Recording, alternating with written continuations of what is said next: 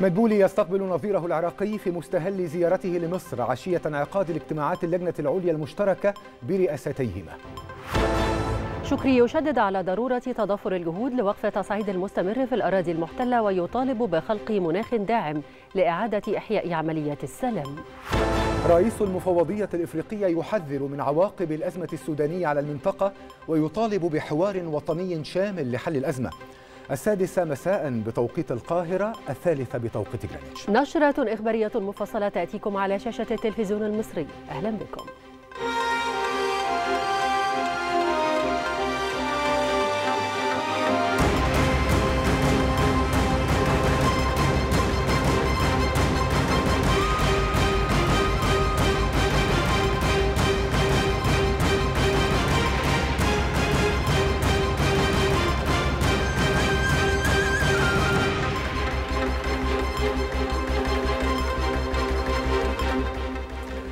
استقبل رئيس مجلس الوزراء مصطفى مدبولي بمطار القاهرة الدولي رئيس وزراء العراق محمد شياع السوداني الذي يزور مصر على رأس وفد رسمي رفيع المستوى. لترأس اجتماعات الدورة الثانية للجنة العليا المشتركة بين مصر والعراق. وأقيمت مراسم استقبال رسمية لرئيس الوزراء العراقي والوفد المرافق له حيث من المقرر أن يترأس رئيسا وزراء مصر والعراق غدا اجتماعات الدورة الثانية للجنة العليا المصرية العراقية المشتركة بحضور الوزراء من الجانبين المصري والعراقي. كما سيتم عقد منتدى رجال الأعمال من البلدين. وسيتم في ختام اجتماعات اللجنة العليا المشتركة توقيع عدد من وثائق التعاون بين مصر والعراق في عدة مجالات.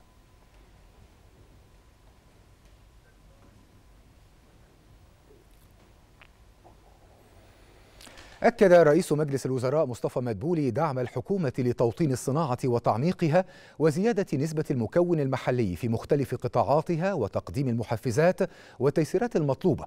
جاء ذلك خلال الاجتماع الذي عقده رئيس الوزراء مع أعضاء مجلس إدارة اتحاد الصناعات المصرية وعدد من رؤساء الغرف الصناعية ومسؤول المصانع والشركات في عدة قطاعات.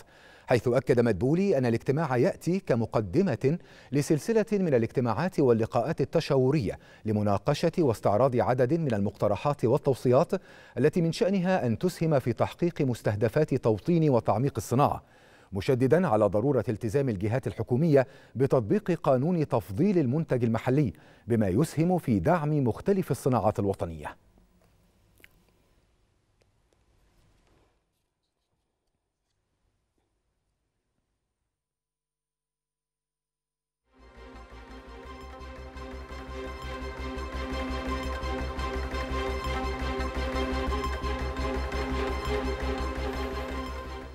قال رئيس مجلس الوزراء الدكتور مصطفى مدبولي إن الدولة تبذل جهودا للاستفادة من الثروات المعدنية على النحو الأمثل اقتصاديا خاصة خامي الرمال البيضاء والكوارتز وتعظيم القيمة المضافة من الصناعات القائمة على الثروة المعدنية. وخلال اجتماع لبحث فرص تعظيم الاستفادة من الثروة التعدينية في توطين الصناعات التكنولوجية الدقيقة أشار مدبولي إلى أن هناك تكليفا بالعمل على إعداد دراسة متكاملة بهدف توطين صناعة الرقائق الإلكترونية والألواح الفوتوفولتية. كما أكد رئيس الوزراء أهمية الخطوات التي تتم لبدء تنفيذ مشروع إنتاج السيليكون المعدني بالعالمين الجديدة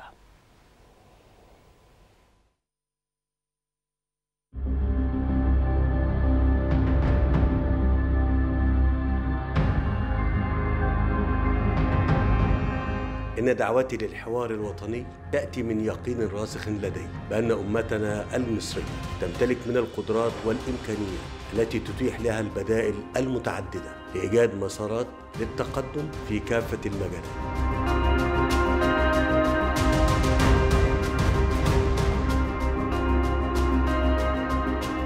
والذي أتطلع لأن يكون شاملا وفاعلا وحيويا.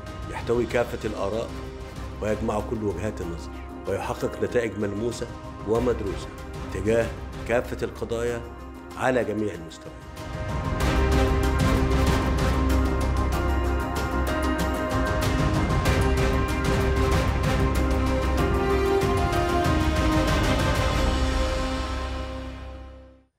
يعقد الحوار الوطني غدا ضمن المحور الاقتصادي جلستين حول أولويات الاستثمارات العامة وملكية وإدارة أصول الدولة وتمويل الاستثمار العام. وعلى التوازي منهما تعقد جلستان حول دور الدولة في توفير مستلزمات الإنتاج الزراعي ومسائل تسعير المنتجات مع مسألة دعم الزراعة والائتمان والديون.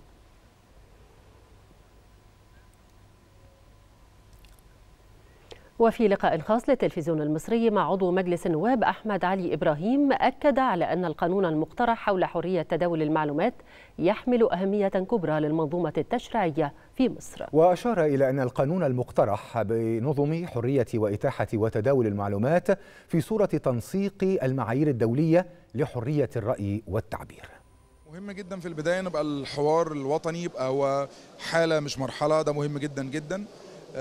مهم جدا إنه كل المقترحات أو السياسات البديلة اللي بتطرح يكون هدفها تحسين جودة حياة الناس لو الناس ما حسيتش إنه كل السياسات البديلة اللي بتطرح أو كل مناقشاتنا مش هتنعكس على الوضع الاقتصادي وتحسين حياتهم فمش هيحسوا إن إحنا بنعمل لهم حاجة. النهارده بنناقش ثلاث حاجات مهمة جدا في لجنة مباشره الحقوق السياسيه زياده أعضاء مجلس النواب وده يعني رغم كل المقترحات اللي قدمت في الأساس مرتبط بعدد من يحق ليهم الانتخاب عدد أصوات الناخبين سواء في النطاق الجغرافي الخاص بالدايرة أو المحافظة. الأمر الثاني بنناقش حاجة مهمة جدا في لجنة الحقوق والحريات وهو قانون حرية تداول المعلومات. القانون ده مهم لعدة اعتبارات. أول حاجة إنه استحقاق دستوري وفقا لدستور 2014 وفقا للمادة 63 إنه في ظل الاستراتيجية الوطنية لحقوق الإنسان اللي أطلقها الرئيس في سبتمبر 2000 21 ده شيء مهم جدا في الفقرة الخامسة منه. في ظل الثورة التكنولوجيا المعلومات اللي موجودة في اقتصاد اسمه اقتصاد المعرفة ده مبني على فكرة حرية تداول المعلومات. في اقتصاد رقمي في ظل ثورة تكنولوجية ده مهم جدا. قانون حرية تداول المعلومات مهم جدا لحماية حقوق المستخدمين وبياناتهم الشخصية. أيضا مهم جدا لتحسين مناخ الاستثمار لأنه أي حد عايز يستثمر وعايز يدرس السوق كويس ومفيش بيانات أو حرية تداول معلومات حقيقية هيبقى ده شيء معيق للاستثمار. في أيضا مهم جدا في ظل الجرائم الإلكترونية واستخدام البيانات الشخصية فقانون حرية تداول المعلومات مهم جدا جدا. أيضا في ترتيبنا في مؤشرات الشفافية والنزاهه فأنا شايف إنه من أهم القوانين وأهم المواضيع اللي بتطرح النهارده في لجنة الحقوق والحريات. أكد عضو مجلس النواب عصام هلال عفيفي أن قضية تفرغ نواب مجلسي النواب والشيوخ هي حق وليس التزام ويجب على الجهات الحكومية أن تمنحه هذا الحق الجميع يكاد أزعم أن الجميع اتفق على آه المستجدات والزيادة السكانية بتستلزم أن يبقى في زيادة في عدد أعضاء مجلس النواب ومجلس الشيوخ ولكن الاختلافات في إيه بقى؟ الاختلافات إن إحنا نوضع محددات هذه الزيادة، الأرقام اللي في الزيادة دي تبقى قد إيه؟ على أي أساس أزود؟ ويمكن إحنا برضو حتى من وجهة نظرنا كمستقبل وطن وطرحناها داخل أروقة الحوار قلنا ان إحنا ما عندناش مانع إن إحنا نزود في زيادة أعضاء مجلس النواب والشيوخ، ولكن لابد قبل ما أنا أتخذ قرار بأزود الرقم قد إيه أو أنا أزود أو أوسع في الدوائر أو أقلل في الدوائر أو ايا من كان التوافق على إيه إن أنا يبقى عندي حصيلة أو إحصائية حقيقية من الأجزاء الرسمية للدولة بعدد سكان مصر في 25 وأبدأ أعمل المقارنة ما بينها وما بين عدد سكان مصر في 20 وأبدأ زي ما حصل وفي حكم أحد أحكام المحكمة الدستورية العليا اللي وضعت العتبة الانتخابية. أبدأ بناء عليه أبدأ أحط العتبة الانتخابية لصوت المرشح. وبناء عليه أبدأ تقسيم الدوائر. قال عضو مجلس الشيوخ إيهاب أبو كليلة إن الدستور كفل حرية تداول المعلومات لكل المواطنين مشيرا إلى أن الموضوع يتعلق بكافة مناحي المجتمع ويتمثل في حق المواطنين في معرفة الحقائق من مصادرها الأصلية. المحور السياسي الذي شرفت بالمشاركة فيه لجنة الحريات العامة وحقوق الإنسان. هذه اللجنة ناقشت عدة ملفات الملف الأول الذي ناقشته في جلسة الحوار الأول هي ملف التمييز وضرورة إنشاء مفوضية للتمييز كاستحقاق دستوري. اليوم نتحدث عن قانون تداول المعلومات كاستحقاق دستوري طبقا لنص المادة 68 من دستور مصر الحالي 2014 والذي أصبح ضرورة ملحة. كما دعا إليه فخامة رئيس الجمهورية في سبتمبر 2021 عند وضع الاستراتيجية الوطنية لحقوق الإنسان في النقطة الخامسة المحور الخامس أو المحور الرابع حرية التعبير إلى ضرورة إصدار قانون لتداول المعلومات والبيانات والإحصاءات. هذا القانون يعني أصبح من الأهم بمكان أن يتم وضع خطوط عريضة حتى يظهر إلى النور. من جانبه أكد عضو مجلس النواب طارق رضوان أن قانون حرية تداول المعلومات هو أحد القوانين الهامة في مجال سوق تداول المعلومات مشيرا إلى أن الهدف من القانون هو تحقيق الشفافية والنزاهة. حرية تداول المعلومات هو حق أصيل للمواطن المصري. ولو حضرتك دخلنا أخذنا هذه القاعدة كقاعدة منظمة سنجدها بداية من إصدار الاستراتيجية الوطنية لحقوق الإنسان والتي نصت على استحداث مثل هذا القانون في طيات هذه الاستراتيجية والتي صدرت في سبتمبر 2021 ولو خدناها بالراجع عندما تم تعديل الدستور في عام 2014 نصت المادة 68 على ضرورة استحداث هذا القانون. لا أفوتك في الحديث. أيضا أن هناك مواثيق ومعاهدات دولية أبرمتها مصر من ضمنها النص الخاص بضرورة استحداث هذا القانون. وفي ظل عصر السماوات المفتوحة وحرية تداول المعلومات في ظل كمان وسائل التواصل الاجتماعي اللي موجودة فالمعلومات موجودة ومطروحة بالشكل ولكن وجب علينا وضع الإطار المنظم لتداول مثل هذه المعلومات وتيسير توفير هذه المعلومات للمستخدم. وأيضا وضع الإطار التنظيمي من خلال رؤية واستراتيجية وأهداف منظمة لمشروع هذا القانون. أكدت مرسى محروس وكيلة لجنة الاتصالات عن تنسيقية شباب الأحزاب والسياسيين على أن الحوار الوطني يعكس حالة غير مسبوقة من التوازن والتنوع. مشيرة إلى أن الهدف من الحوار الوطني هو خلق حياة سياسية أكثر تنوعاً. الحقيقة ما قامت عليه فلسفة الحوار الوطني قايمة على فكرة تبني استماع جميع الآراء وتباينها. ويمكن فكرة تباين الآراء هو ما يزيد وما يسري قيمة الحوار الوطني من قيمة.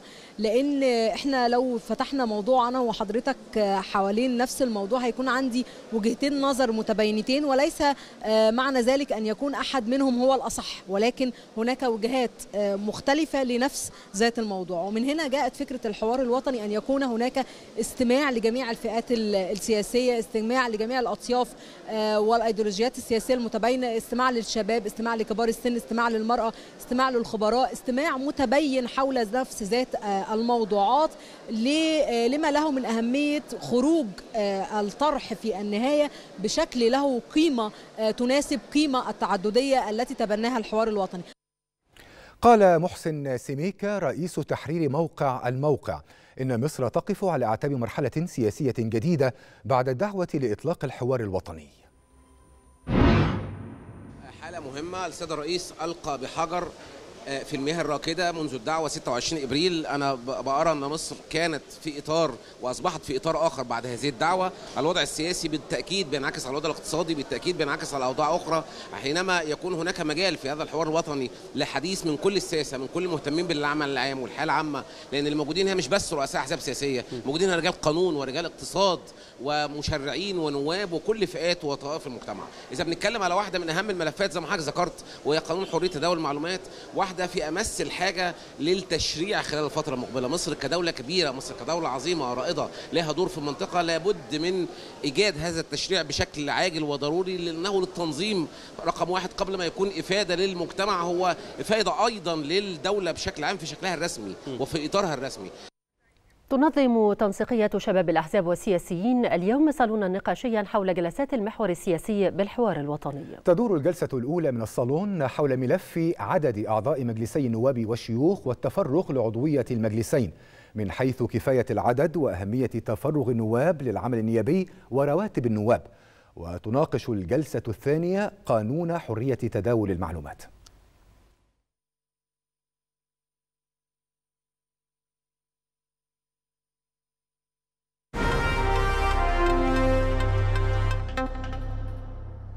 شدد وزير الخارجية سمح شكري على ضرورة تضافر كافة الجهود الإقليمية والدولية على مستوى الأمم المتحدة من أجل وقف التصعيد المستمر في الأراضي المحتلة وخلق مناخ جديد داعم لإعادة إحياء عملية السلام.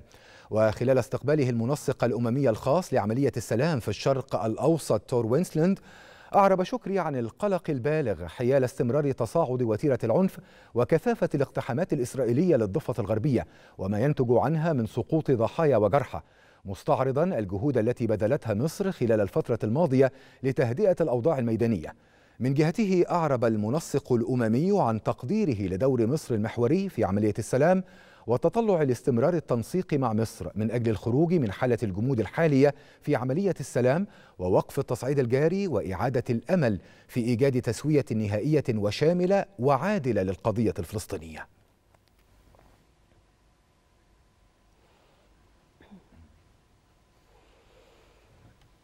أكد وزير الخارجية سامح شكري حرص مصر على تطوير وتعميق الشراكة الاستراتيجية بين مصر واليونان خاصة في ظل التحديات الإقليمية والدولية غير المسبوقة وخلال اتصال هاتفي مع نظيره اليوناني الجديد فاسيليكس كاسكاريكليس حرص شكري في مستهل الاتصال على تهنئة نظيره اليوناني على توليه مهام منصبه.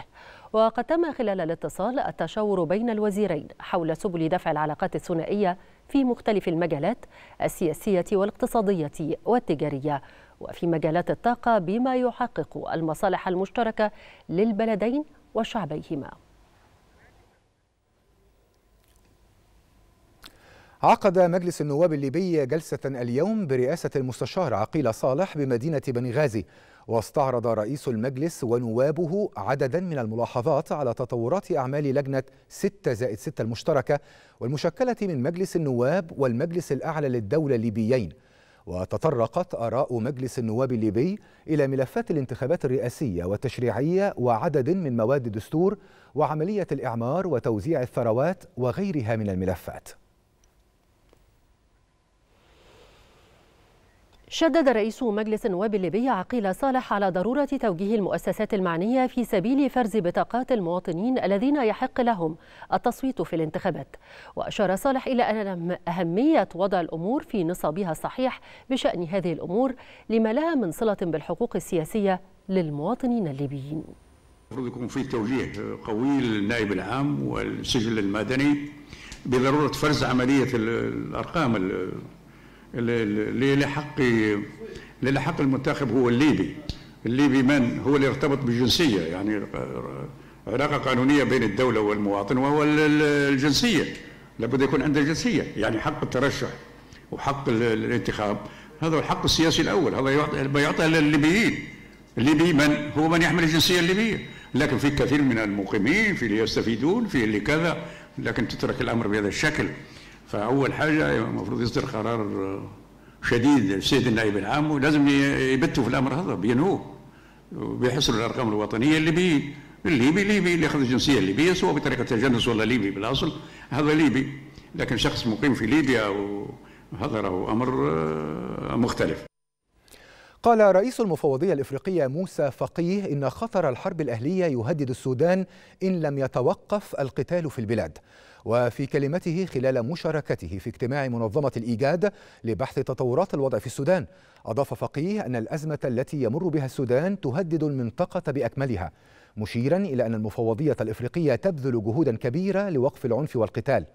وأكد فقيه أن الأزمة السودانية تتطلب حلا سريعا وموحدا دون تأجيل مشددا على ضرورة تشجيع السودانيين على إجراء حوار وطني شامل لحل الأزمة.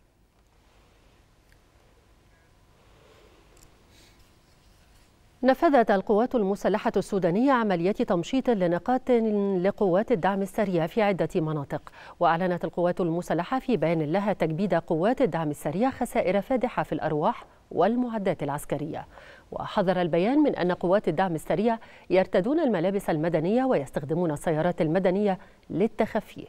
وفي سياق متصل استهدفت قوات الدعم السريع المناطق السكنية بمناطق الأزهري والسلمة جنوب الخرطوم بالقصف المدفعي والصاروخي. وذكرت القوات المسلحة السودانية أن الاستهداف أسفر عن مقتل مواطن وإصابة ثلاثة أطفال إضافة إلى تضرر عدد من المنازل.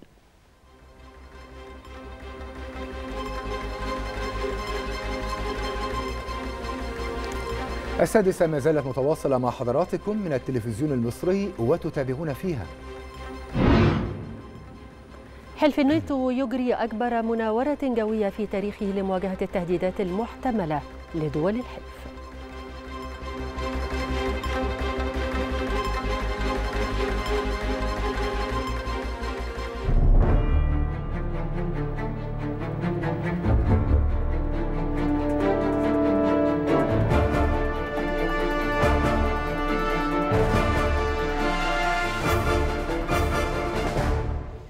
أعلنت وزارة الدفاع الروسية إحباط محاولة القوات الأوكرانية إجراء استطلاع على محور ليتزرنسك وصد هجوم على محور سوليدار أرتيوموفسك كما أكدت الدفاع الروسية أن قواتها قضت على 470 عسكريا أوكرانيا ودمرت نحو 15 دبابة من بينها ثلاثة من طراز ليوبارد الألمانية إضافة إلى تدمير منظومة ستورمر البريطانية للدفاع الجوي وإسقاط طائرة هجومية.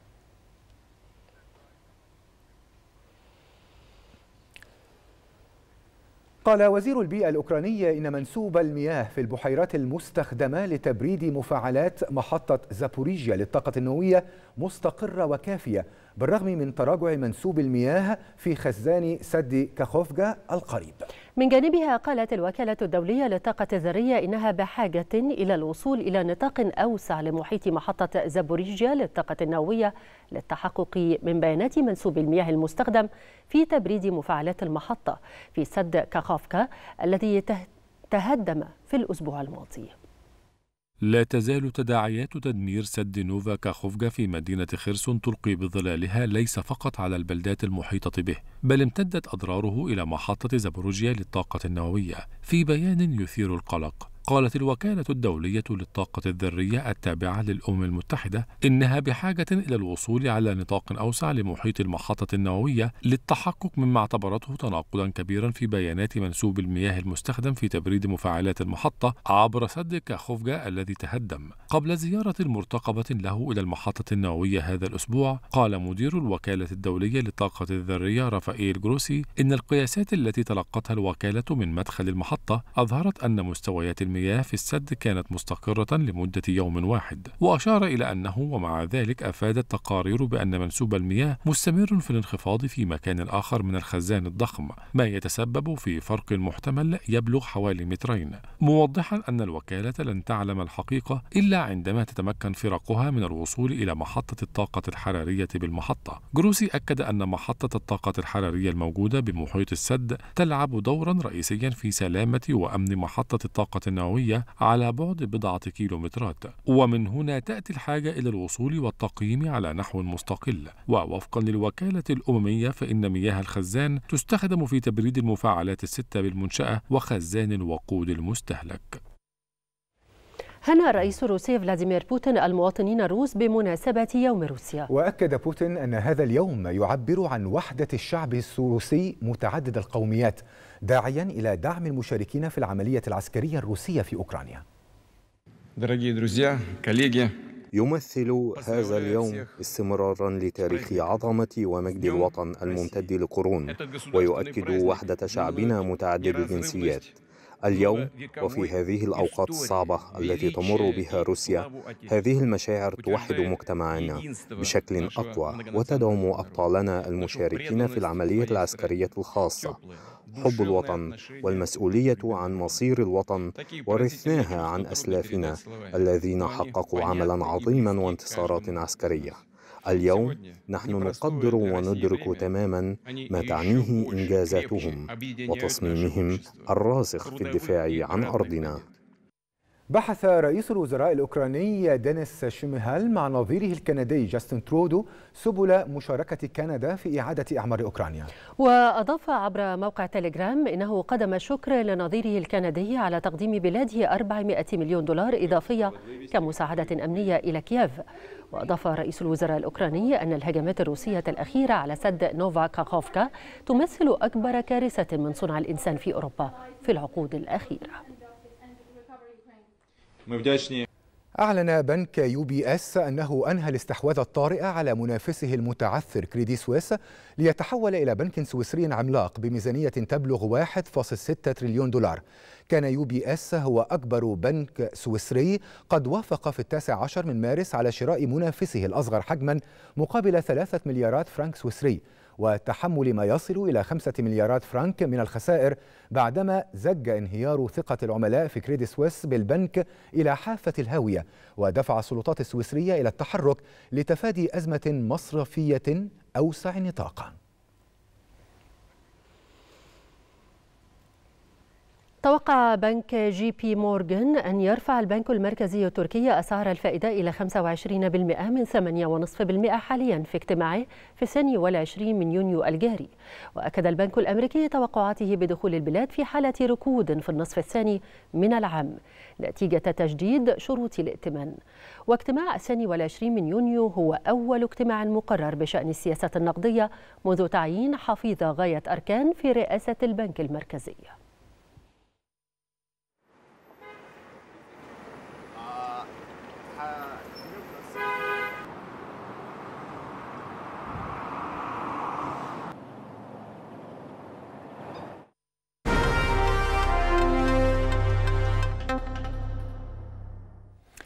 يبدأ حلف شمال الأطلنطي أهم مناوراته الجوية بهدف إظهار وحدة أعضائه في مواجهة تهديدات محتملة لا سيما من روسيا. تستمر المناورات حتى الثالث والعشرين من شهر يونيو وتضم نحو 250 طائرة عسكرية من 25 دولة عضو في الأطلنطي وشريكة له Air Defender 23 أكبر رسالة تحذيرية موجهة لروسيا من جانب حلف شمال الأطلنطي فهي المناورة الجوية الأكبر على الإطلاق للناتو في تاريخه. المناورات التي تستمر عشرة أيام حتى الثالث والعشرين من يونيو ستضم نحو 250 طائرة عسكرية من 25 دولة عضو في الحلف وشريكة له بما فيها اليابان والسويد الدولة المرشحة لعضوية الحلف. ما يصل إلى عشرة ألاف شخص يشاركون في هذه التدريبات التي تهدف إلى تعزيز توافقية التشغيل والحماية من الطائرات بدون طيار وصواريخ كروز في حال وقوع هجوم على مدن أو مطارات أو مواني واقعة على أراضي الأطلنطي. فكرة التدريبات انطلقت عام 2018 في إطار الرد على ضم روسيا شبه جزيرة القرم في 2014 على الرغم من أنها لا تستهدف أي طرف على وجه التحديد. وتجرى المناورات وسط ذروة الرحلات الجوية خلال فصل الصيف وتتفاوت تقديرات مستوى الاضطراب الذي ستسببه للحركة الجوية المدنية. وتأتي هذه التطورات في ظل تقديرات مؤكدة ببدء أوكرانيا هجوما مضادا ضد روسيا مستخدمة أسلحة من دول الناتو وبالتزامن مع مرور 15 شهرا على اندلاع الحرب الروسية الأوكرانية في الرابع والعشرين من فبراير 2022 قال متحدث باسم الكنيسة الكاثوليكية في ميلانو إن الجنازة الرسمية لرئيس الوزراء الإيطالي الأسبق سيلفيو برلسكوني ستقام في كاتدرائية المدينة يوم الأربعاء القادم. توفي برلسكوني في مستشفى سان رافائيل عن عمر ناهز 86 عاما حسب ما ذكرت صحيفة كورييري ديلا سيرا الإيطالية.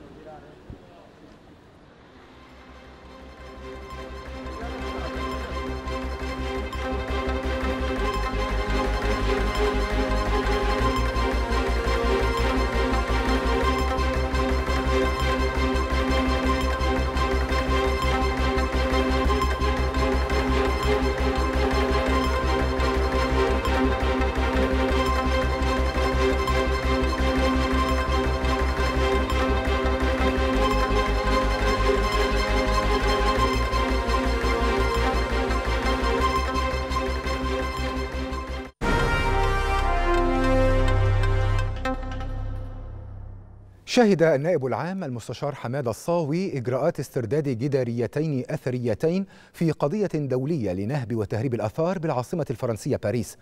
جاء ذلك على هامش الزيارة الرسمية التي يجريها النائب العام لفرنسا لبحث أوجه التعاون الدولي القضائي بين البلدين. خاصة في التحقيقات المشتركة التي يجريانها حول سلسلة من جرائم منظمة عابرة للحدود الوطنية ارتكبتها جماعة دولية منظمة متعددة الجنسيات تطلع بنهب وتهريب الآثار المصرية وغيرها عبر مختلف البلاد.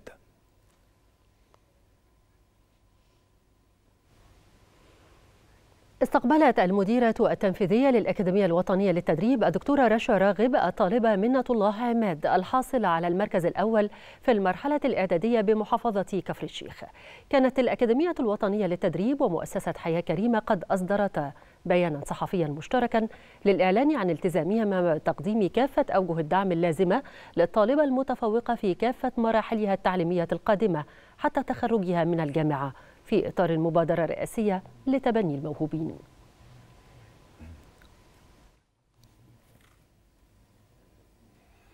أدى طلاب الثانوية العامة بشعبتيها الأدبية والعلمية اليوم امتحانات الدور الأول من العام الدراسي الحالي في مادتي التربية الدينية والتربية الوطنية.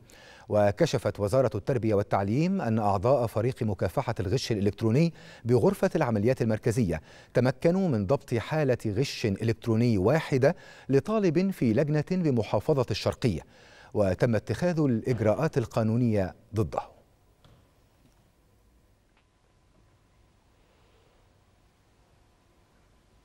تفقد محافظ شمال سيناء محمد عبد الفضيل شوشة لجان امتحانات الثانوية العامة في عدد من لجان مدارس مدينة العريش. وأكد المحافظ على انتظام سير الامتحانات دون شكاوى مشيرا إلى اتخاذ جميع الإجراءات الوقائية وتوفير زائرة صحية بالمدارس التي بها لجان للثانوية العامة. وكذا تواجد سيارة إسعاف بمحيط تلك اللجان.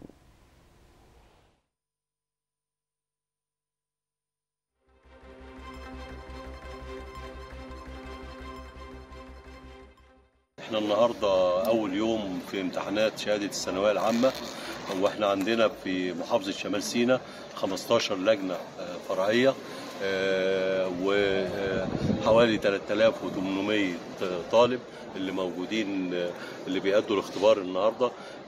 أنا تفقدت اللجان كان بس عشان نتأكد ان كل وسائل وسبل الراحة متوفرة وميسرة. ونشوف أي برضو طلبات للساده ضيوفنا اللي هم المراقبين اللي موجودين. ف إحنا الاستراحات معمولة على أكمل وجه وكل قطاع له فيه استراحة بحيث يبقى قريب من المكان بتاعه. وإن شاء الله إن شاء الله يؤدى الاختبار بخير إن شاء الله والناس يعني تأديه بخير. وإن شاء الله اللي بذل مجهود إن شاء الله ربنا يكرمه.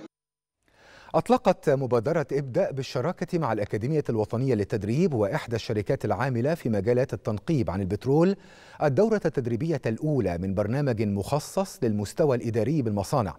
وضعت 25 متدربا من العاملين بالمصانع التي أنشأتها ابدأ لصالح توطين الصناعة. تستهدف فعاليات الدورة التدريبية إكساب المتدربين الخبرات العملية والمهارات الفنية اللازمة لتطوير أنماط التفكير التي تمكن من حل المشكلات بما يمكن المتدرب من أن يصبح جزءا من مجتمع المستقبل المتنامي من القادة وصناع التغيير.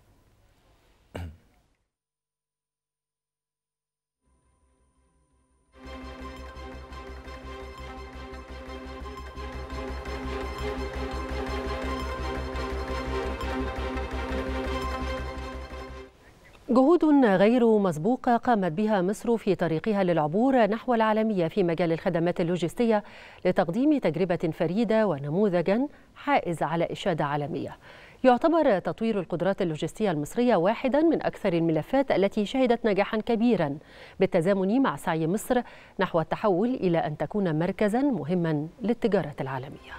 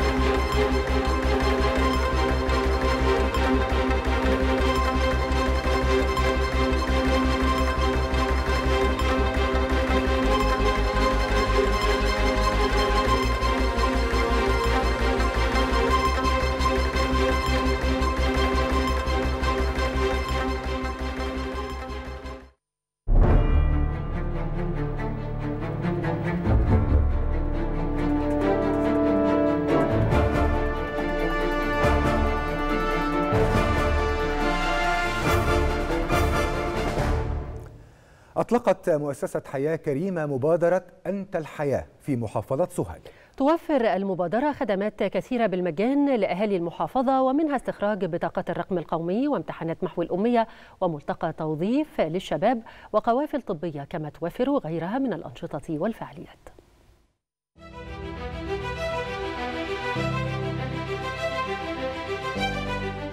بفعاليات مجتمعية متنوعة وخدمات صحية متكاملة انطلقت مبادرة أنت الحياة في محطتها السادسة بمدينة المنشأة التابعة لمحافظة سوهاج من خلال مؤسسة حياة كريمة لتقدم أشكالا مختلفة للدعم للأهالي الأولى بالرعاية.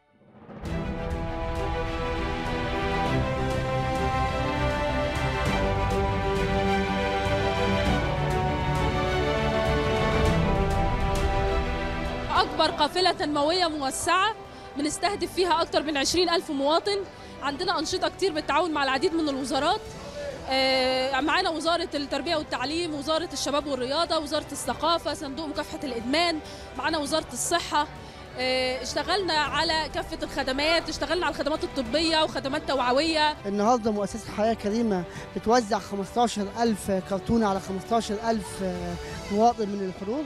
النهارده في ملتقى توظيفي بمشاركة 15 شركة لتوظيف العمالة بمركز المنشاه محافظة سوهاج. قوافل طبية مستمرة بتخصصات مختلفة قدمتها حياة كريمة لأهالي المنشأة. عاملين قافله طبيه ممتازة واساعدوا الناس الفقراء في كثير طبعا. وبره في الشوارع موصلين ميه الناس وجايبين كهرباء للبيوت.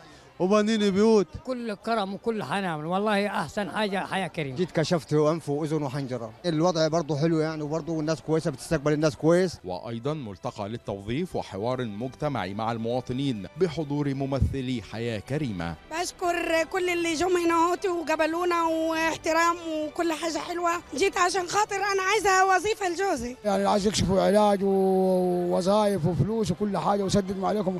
ربنا يسترها معاهم وربنا يخليهم. ودي دليل على إن الحب في القلب للسيد الرئيس عبد الفتاح السيسي اللي دائما إنجازاته كبيرة جدا ومن ضمنها مشروع حياة كريمة اللي بيمس ظروف الإنسان المصري. مساعدات للغارمين والغارمات والاهتمام بأطفال المدينة ترفيهيا ورياضيا وتوعويا. كانت على رأس أولويات أنت الحياة بمدينة المنشأة التي شهدت توافد أكثر من 20 ألف مواطن مستحق. بالنسبة للأطفال بنقدم لهم خدمات يعني منها ممارسة الرياضة وبنمارس لو في حد مثلا تعبان فيهم بيبقى في كشف دوري عليه. أنا جاي أستلم هدايات من حياة كريمة وهم بيعاملونا آخر كرم قالوا لنا اللي عايز يكشف أو تعبان أو مريض يجي هنا وكشف مجانا وكل أي حاجة أنتوا عايزينها النهارده هم كانوا بيوعونا عن قصة المخدرات وما نعملهاش يعني عشان نبقوا لعيبة كويسة وكده. وفي ختام يوم أنت الحياة مع مدينة المنشأة كانت حياة كريمة سببا في تجميع الأهالي بمركز شباب المدينة لمشاهدة مباراة النادي الأهلي مع الوداد المغربي الحاسمة للحصول على لقب بطل إفريقيا في أجواء يسودها الود والفرحة والأمل.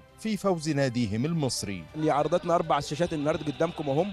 يعني من الشاشة الكبيرة أهي وعرضتنا يعني ما شاء الله لحد جلت معاكم معاكم للصبح النهارده. من أول اليوم شغل النشاطات الله أكبر كل النشاطات موجودة. حتى في الرياضة النهارده بسم الله ما شاء الله عليه حياه كريمة تهتم إن هي توفر مكان كويس زي كده بالشاشات بالحجم ده. عشان خاطر الناس تتفرج على الماتش فدي من الحاجات الكويسة جدا جدا. تأتي مبادره أنت الحياة في إطار توجيهات الرئيس عبد الفتاح السيسي بتطوير قرى الصعيد والريف المصري من خلال مؤسسة حياة كريمة لتنطلق وبشكل متكرر. قوافل دعم للمواطنين بالقرى الأكثر احتياجا بالتكامل مع أجهزة الدولة كافة لتوفير حياة كريمة للمصريين. كما اختتمت مبادرة أنت الحياة فعالياتها في مدينة دمنهور والتي أطلقتها مؤسسة حياة كريمة لتقديم أنشطة توعوية للأطفال والسيدات وكبار السن. هذا وشهدت المبادرة إقبالا متزايدا من المواطنين للاستفادة من الخدمات المتكاملة التي تقدمها. أنت الحياة مبادرة تستهدف تقديم أنشطة توعوية للأطفال والسيدات وكبار السن. مبادرة توعوية تأتي في إطار المبادرة الرئاسية حياة كريمة لتحسين مستوى الحياة للفئات المجتمعية الأكثر احتياجا والارتقاء بمستوى الخدمات اليومية المقدمة لهم وضمن جهود مؤسسة حياة كريمة المستمرة لبناء الإنسان المصري. إقبال منقطع النظير إحنا النهاردة اليوم الثالث الوقت لما بنتكلم إن الساعة 11 ونص وإلى الآن ألف تذكرة تم قطعهم تم الكشف على أكثر من 800 مواطن إلى الآن. النهاردة بس امبارح كان إجمالي اليومين 2986 مواطن قلنا القافلة. الأهم ما زال ان موجود عندنا في القافلة هنا معانا 17 عربية متنقلة بالعيادات المتخصصة بتاعتهم. فيها 14 تخصص مختلف موجودين معانا من استشاريين وأخصائيين موجود معانا معمل تحاليل موجود الصيدلية موجود عربية للتسجيل الطبي على أساس يبقى كل حاجة عن الحالات موجودة معانا. قرية الابعديه بدمنهور شهدت اقبالا متزايدا من المواطنين على المبادرة للاستفادة من الخدمات المتكاملة التي تقدمها. قدمت المبادرة خدماتها المختلفة لأهالي القرية وعلى رأسها الخدمات الطبية والتوعية الصحية حيث تم توقيع الكشف الطبي وصرف الأدوية مجانا. وعلى صعيد آخر تم عمل قوافل توعوية وثقافية بالإضافة إلى تنظيم ورش عمل حرفية. تعد مبادرة أنت الحياة أول فعالية توعوية تستهدف توعية المرأة والشباب والأطفال وكبار السن من الناحية الاجتماعية والصحية والنفسية والدينية وذلك بالتعاون مع مؤسسات المجتمع المدني والجهات المعنية. شهدت محافظة أسيوط انطلاق أولى رحلات مشروع المكتبة المتنقلة لمكتبات مصر العامة للشوارع والمدارس ومراكز الشباب وذلك بقرى مبادرة حياة كريمة بمحافظة أسيوط. تحتوي المكتبة على أكثر من تسعة ألاف كتاب في مختلف المجالات وتسعى من خلال قوافلها الثقافية إلى اكتشاف مواهب الأطفال في المدارس في كل المجالات الإبداعية.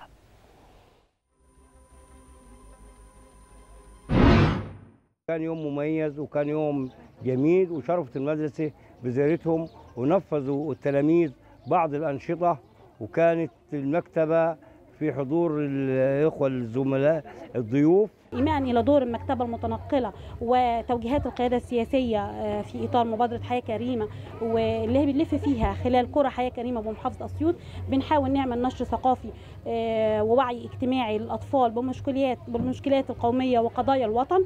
بنحاول نبرز للأطفال أهمية المواطنة والانتماء للوطن. إحنا مبسوطين جدا إن المكتبة المتنقلة زارتنا. في مدرسة العبور.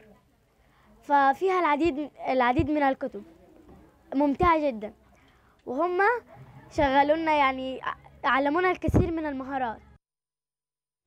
كما انطلقت في محافظة سوهاج فعاليات مبادرة إنت الحياة بمشاركة 15 ألف شاب من أبناء مركز المنشأة بمحافظة سوهاج. خلال الفعالية تم توزيع 15 ألف كرتونة مواد غذائية بالإضافة إلى توزيع 10 ألاف وجبة غذائية. وتوزيع الآلاف من الألعاب على الأطفال إضافة إلى تقديم مساعدات طبية وعمل لقاء مجتمعي وتنظيم ملتقى وتوظيفي وحفل موسيقي.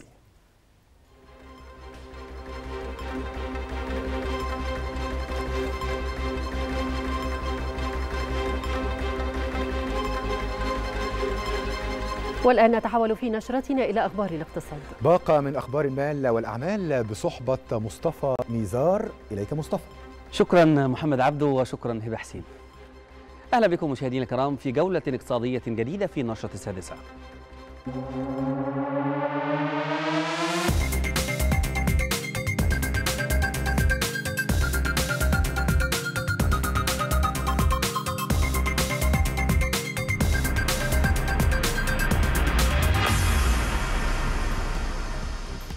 نفى المركز الإعلامي لمجلس الوزراء ما تم تداوله بشأن صرف إعانات نقدية بقيمة 8500 جنيه لكل مواطن مصري. وأكد المركز على أن كافة المنح والمساعدات التي تقدمها الحكومة ضمن البرامج الموجهة للأسر من محدود الدخل ويتم الإعلان عنها بشكل رسمي من خلال الموقع الإلكتروني لوزارة التضامن الاجتماعي.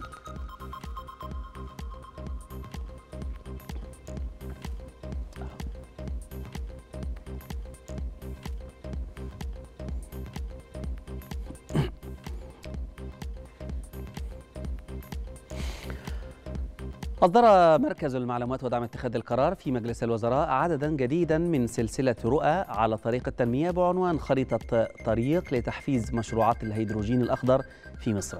تتسم هذه السلسلة بالطبع البحثي التطبيقي كما تسهم في تحقيق رسالة المركز في دعم متخذ القرار من خلال تكامل الجهود البحثية بين الخبراء المتخصصين والباحثين بالمركز وذلك بهدف إثراء جهود الدولة المصرية في شتى مناحي التنمية. كما تستهدف الوصول لاستراتيجيات عمل متكاملة وبناءة تستند على آليات عمل مبتكرة قابلة للتنفيذ من قبل مختلف مؤسسات الدولة.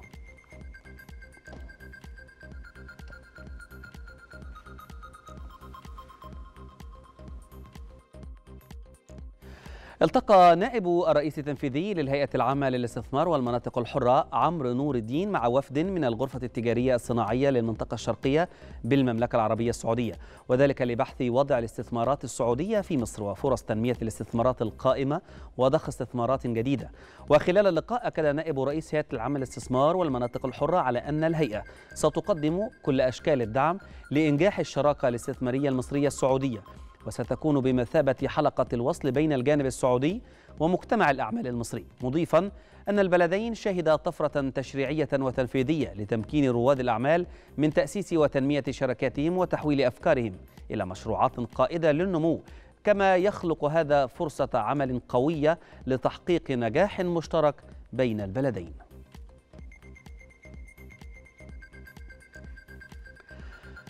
أعلنت إدارة البورصة المصرية عن انتهاء حل العطل الفني والذي تعرض له نظام التداول خلال جلسة اليوم. كما أعلنت البورصة عن استئناف التداول غدا الثلاثاء في المواعيد المعتادة مع تأكيد إدارة البورصة على أنه سيتم الاعتداد بكافة العمليات المنفذة خلال جلسة اليوم وحتى توقف نظام التداول.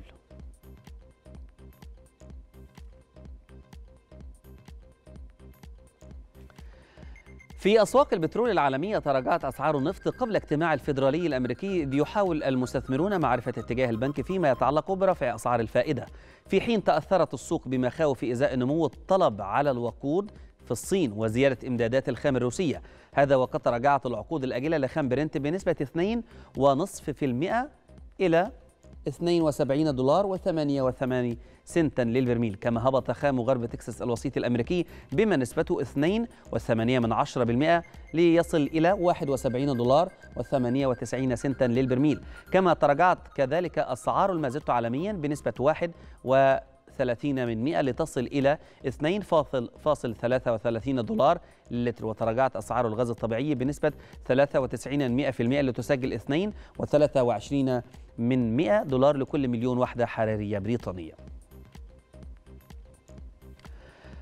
وافق البرلمان العراقي على ميزانية عام 2023 والتي تبلغ 198.9 تريليون دينار أي ما يوازي 153 مليار دولار تشمل إنفاقا قياسيا على فاتورة أجور حكومية متزايدة ومشروعات تنمية تهدف لتحسين الخدمات وإعادة بناء البنية التحتية في العراق. وفقا لمشرعين وثيقة الميزانية يقدر عجز الميزانية بنحو 64 تريليون و36 من 100 دينار عراقي وهو مستوى مرتفع على نحو قياسي ويبلغ أكثر من مثلي آخر عجز ميزانية مسجل في عام 2021 وقال مشرعون إن الميزانية تستند إلى سعر نفط 70 دولار للبرميل وتوقعات بتصدير 3.5 مليون برميل نفط يوميا منها 400 ألف برميل يوميا من إقليم كردستان.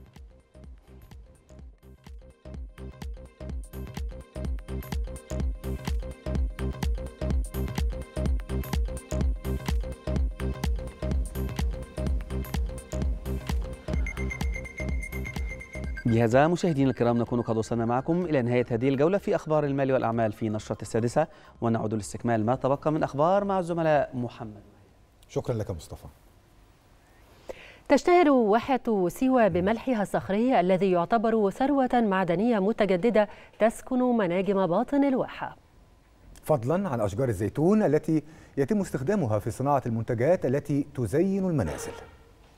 بأنامل ذهبية وصبر كبير وحرفية متقنة؟ يحول هؤلاء الرجال الملح الصخري وأشجار الزيتون إلى لوحات فنية مبهرة وأدوات للاستخدام المنزلي. أبناء مدينة سيوة برعوا في تصنيع تلك الأشكال التي تزين المنازل والفنادق والمنتجعات البيئية بالواحة. من ضمن هؤلاء عيسى عبد الله موسى وهو حرفي في صناعة الملح الصخري والأخشاب بواحة سيوة كان قد بدأ هذه الصناعة منذ أكثر من 25 عاما. صناعة الملح بدأتها في أواخر التسعينات فكان اكتشاف صدفة وبدأت بصنع الشمع كهدايا ليا ولاصحابي والجيراني والمش... والفكرة بدأت تطلب فطورتها شوي شوي وجبت عمالة اثنين ثم ثلاثة ثم بقوا عمالة يتراوح من سبعة لعشر أفراد. وبعدما تحولت صناعة منتجات المنازل من الملح الصخري إلى حرفة لعدد من أبناء الواحة تطورت الصناعة بشكل كبير وهو ما انعكس على الإقبال على اقتنائها من قبل المصريين والأجانب خلال زياراتهم للواحة الخضراء. شغالة في ملح الصخر وخشب. أنا بداية الشغل الملح كنا يعني علمت بنات وعندي مجموعة كده بدأت أعلمهم. بعد ما أنا اتعلمت بدأنا نعمل أباجورة آه ملح وحاجات حوامل شمع وبنعمل آه أطباق خشب وأباجورة خشب مطعمة بالملح. وتشتهر واحة سيوة بملحها الصخري الذي يعد ثروة معدنية متجددة تسكن مناجم باطن الواحة فضلا عن أشجار الزيتون التي تستخدم في العديد من المجالات.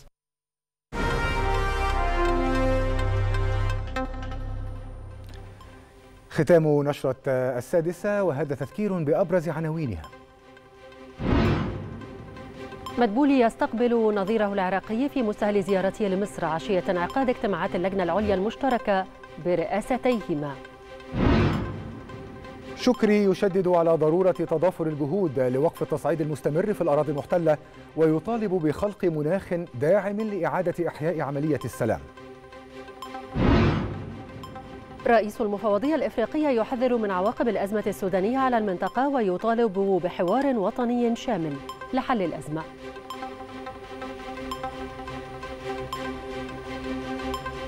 نهاية نشرة السادسة أتتكم من على شاشة التلفزيون المصري. نشكركم على طيب المتابعة ودمتم سالمين.